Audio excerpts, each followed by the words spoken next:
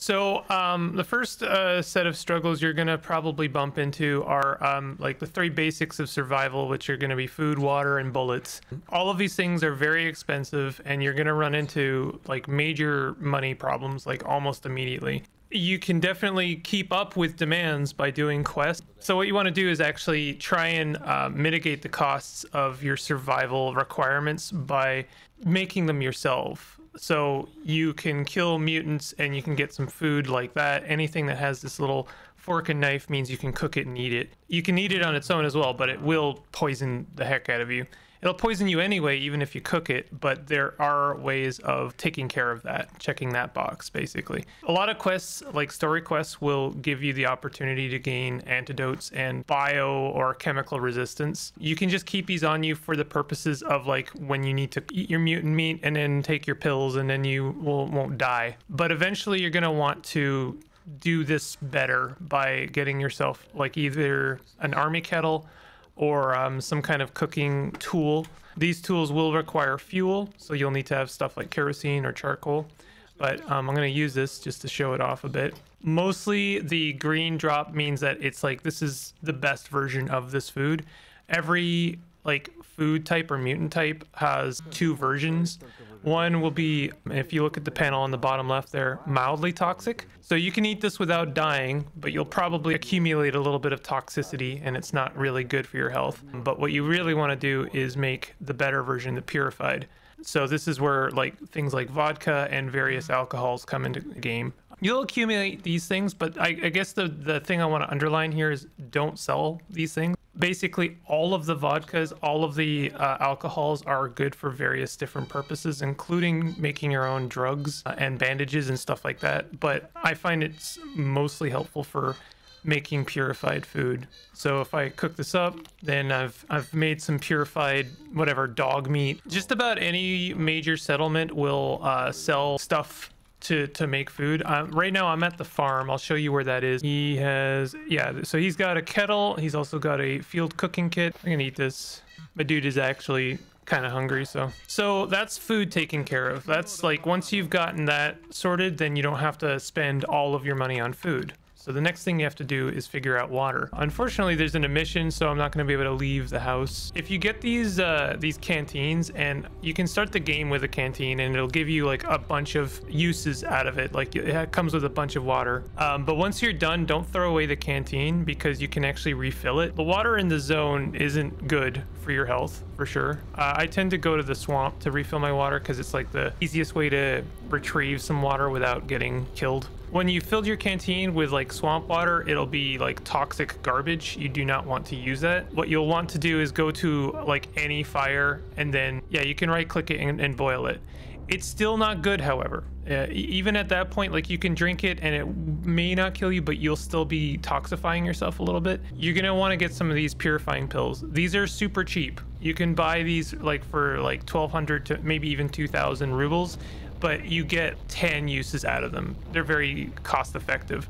Um, a couple of these will actually purify an entire canteen of water. All of that makes for like really, really cheap water um, instead of having to, to buy water.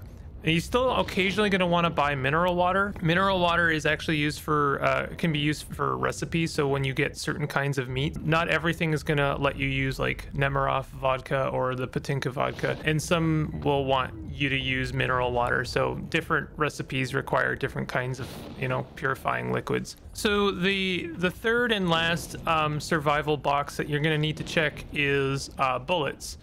Um, you're going to accumulate um, a couple of guns that have bullet requirements. Certain ammo types are definitely more common than others, and certainly, um, you know, the bandits you uh, encounter in the zone are going to favor certain kinds of weapons over than over others. They may carry an SKS or a rifle, but they may not have all that much 762 ammo. If you actually like want to have uh, an easier time renewing your bullet supply, especially if you're picking your bullets off of bandit corpses, you are definitely going to want want to have like a shotgun of any kind because the the buckshot is very renewable and you can tend to resupply off of like killing bandits and stuff like that. There's nothing wrong with get, having a, a rifle that needs 762, but I have often found that I just run out of the 762 right away. Just it's extremely expensive or like difficult to resupply that. Um, eventually, like I, I recommend honestly getting yourself a rifle that takes 556 because the 556 is fairly renewable, but also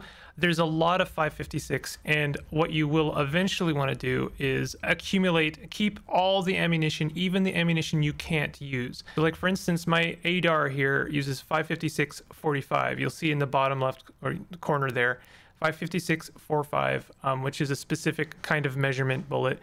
Um, and it doesn't take 54539, which I have here. You're going to want to buy, as soon as you can, a few things. You're going to want a multi-tool. Um, you're going to want a file, a ramrod. These are for the purposes of maintaining your guns and stuff, but the main thing here I want to underline is the multi-tool. The multi-tool is used for disassembling bullets and basically everything. Like it's it's invaluable. Uh, more often than not when i'm like out in the zone and i'm battling like with weight uh, like i have way too much stuff i'm carrying and i'll find a corpse you you're not ever going to want to pick up guns unless you plan on using those guns but you will want to disassemble them because you're absolutely going to want to acquire parts for um, repairing guns in the future. Carrying these is way easier than carrying the guns and also um, if you think you're going to sell those guns you're you're, you're not because no one is going to buy a gun. Most of the time, those guns will be broken or very badly conditioned,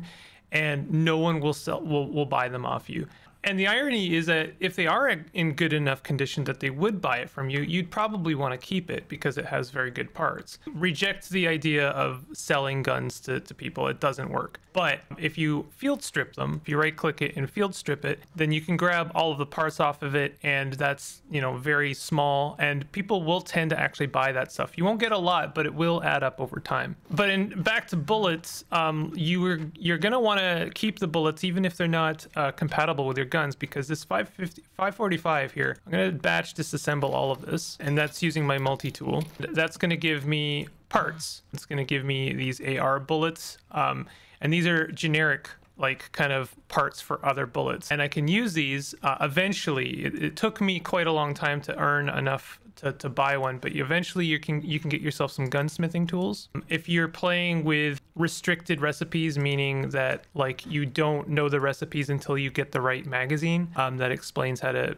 how to do them, then you can um, start making your own bullets. And then you can make the bullets that are actually compatible with your gun. And that's why it's, it's great if you can find like 545, even though it's not compatible because it was 45. It's still assault rifle ammo. And so therefore I'll get the parts I need to make assault rifle ammo. All I'm saying here is that um, different ammo types will break down into their kind of generic parts. So keep everything. Keep keep ammo, disassemble and field strip guns instead of carrying them unless you plan on using them because you will have to fight uh, weight restrictions like a lot. Eventually, get yourself a some gunsmithing tools so you can make your own ammo. Like you're gonna have to bite the bullet, no pun intended, but you'll have to buy some ammo, and it's expensive. Ammo is just like ridiculously expensive, and uh, you'll want to eventually be able to make your own.